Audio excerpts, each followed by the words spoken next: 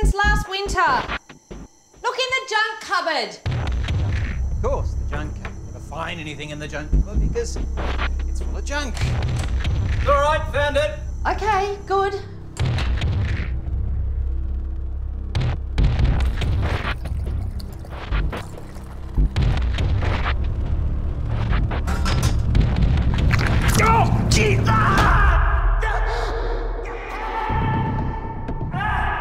Every year, around 200 people are admitted to hospital with serious burns related to hot water bottles.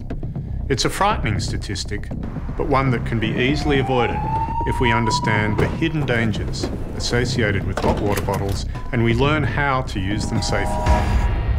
Around 500,000 hot water bottles are sold in Australia every year. Of these, 90% are made from rubber, the rest from PVC. The ACCC recommends you replace hot water bottles every year or whenever your bottle shows signs of wearing out, cracking or leaking. After all, they're inexpensive and readily available. Many people suffer serious burns when their hot water bottle bursts or leaks. And that's why there is a mandatory standard for hot water bottles in Australia that covers filling characteristics, the thickness of the rubber or PVC, and the amount of water to use according to individual bottle design. Make sure you choose a hot water bottle with a large opening to reduce the risk of water spilling while you fill it. Each year, the Victorian Adult Burn Service at the Alfred treats 300 patients with severe burn injuries.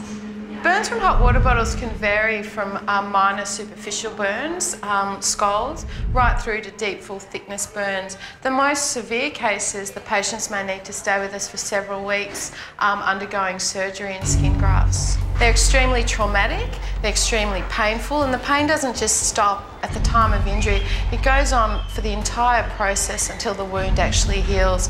They're physically and psychologically draining. Hot water bottles seem like such a harmless thing, but the dangers are very real. People need to understand that. I suffer from rheumatoid arthritis and I used to use hot water bottles to ease the, the pain of my joints. Good night, Bubby. Good night, Dale. You okay? Yeah, I'm okay. On the night I was burnt, I had filled one of several hot water bottles that I've used regularly. Sometime after I filled the water bottle, I was lying in bed and I noticed my lap was all wet. The bottle had split along the top, about an inch long. I didn't feel it immediately. I don't know why I didn't feel the water. Because of the arthritis, maybe. My husband got me into the shower and then called an ambulance. It was very painful. I went straight to emergency and I ended up in hospital for two weeks. I was diagnosed with full thickness burns on my belly and upper thigh of my leg. I had to have skin grafts on my belly and leg. I visit a burns unit specialist every two weeks. It's been over a year since the accident and my scars still haven't healed properly. I always saw my hot water bottle as a source of comfort and way to relieve my pain. But now I'd like everyone to know that using a hot water bottle is full of hidden dangers.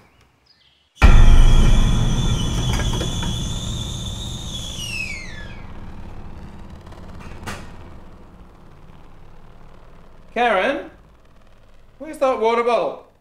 I bought new ones. One each. Great. Buy a new hot water bottle at the start of winter and follow the instructions for filling and use. If the kettle water is too hot, add some cold water first.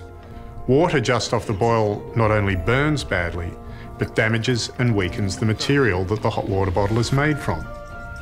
Line it down. And be sure to remove any excess air from the bottle.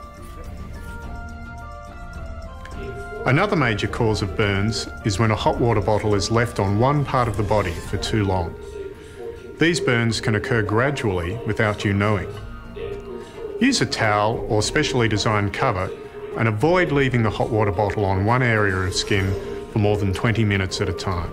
Hot water bottles should never be given to babies or young children as their skin is too sensitive. Older people with sensitive skin and people with reduced feeling in parts of their bodies should use hot water bottles with extreme care. Never sit or lean on a hot water bottle as this can cause them to burst or leak. Only use a hot water bottle to heat the bed. Take it out before you get in. Your hot water bottle can be a comforting friend on a cold winter night. But be aware, used incorrectly, the hot water bottle has many hidden dangers and should be treated with caution. This winter, follow the simple guidelines laid out in this video to stay warm and safe.